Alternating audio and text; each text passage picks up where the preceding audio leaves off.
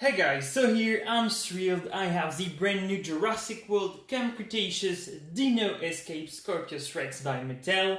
So as you know, this is the ultimate bad guy from Camp Cretaceous Season 3. I was really excited to have it because it's just starting to pop out in the stores all over the world. So this one comes from PicWic Toys in France. And well, we have that amazing new packaging where you see the Isla Nublar fence is broken, you have a bit of jungle, the sunset, so it's really beautiful. You have, of course, the new theme the Dino Escape here.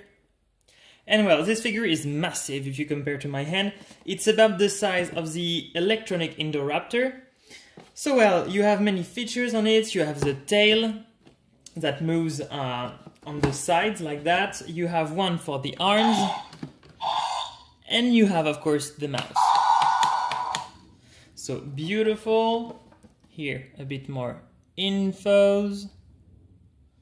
And if you want the barcode, here you have it.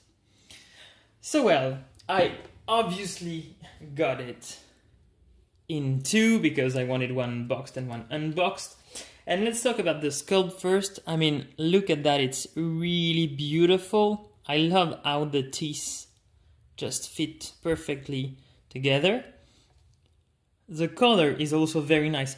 You have beige on the belly, then you've got some kind of dark bluish gray and it ends in black, so that's really nice. You can't rotate the feet, but you can move the legs separately. So that's cool. Here on the tail, the articulation you have is just the fact that it goes back into place when you move it to have like a slashing action. So that's really cool and it works perfectly. Then you have two buttons on its back, one here and one there. As I said, the first one is for the arms.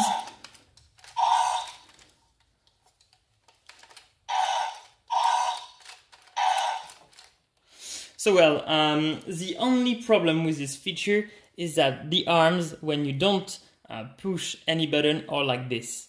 So I mean, you can't have them like that. I wish I could have a, uh, this function on it, but it's not the case. But we're still cool. And then you have the mouse.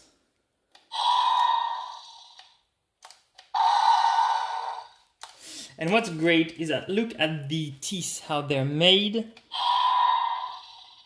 What's great is that they're unpainted. It's a separate plastic part at the bottom and on the top.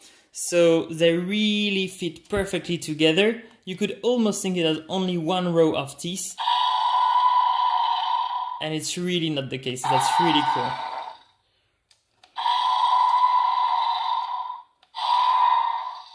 Honestly, I love it.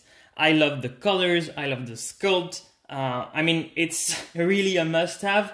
Now, I'm really curious about the version that comes with Kenji and the gyrosphere, because it's likely it won't have that kind of um, system on the arm, so maybe it will be more posable. But honestly, this one is really beautiful. I wasn't expecting it to be so big, because in the TV show, it's hard to tell the size. So, I mean, it's really, really a cool figure.